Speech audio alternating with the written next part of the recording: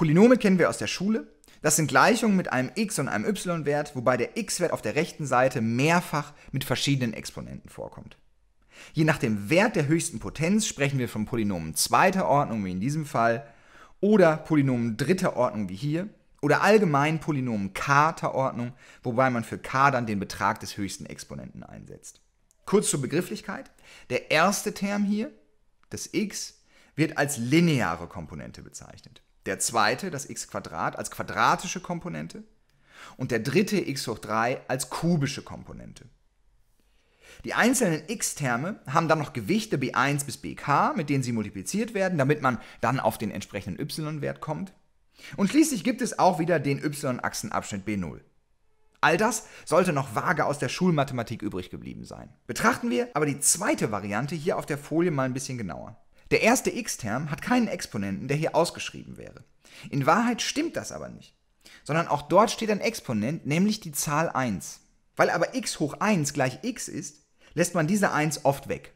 Wenn wir nun hergehen und all unsere Exponenten um ein paar Millimeter nach unten versetzen, dann steht da plötzlich unsere Grundgleichung für die multiple lineare Regression. x1, x2 und x3.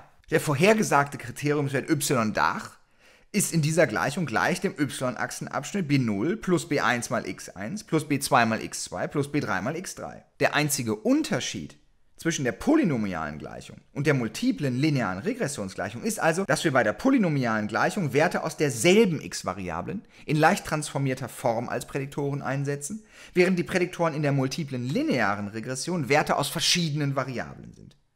Das spielt aber eigentlich keine Rolle, denn x, x hoch 2 und x hoch 3 sind ja eigentlich verschiedene Variablen. Das sieht man sofort, wenn wir in dieser Gleichung hier anstatt von x hoch 1 einfach x1 schreiben, anstatt von x hoch 2 einfach x2 und anstatt von x hoch 3 einfach x3. Das sind ja nur Symbole. Und damit ist die polynomiale Regression eigentlich dasselbe wie die multiple lineare Regression.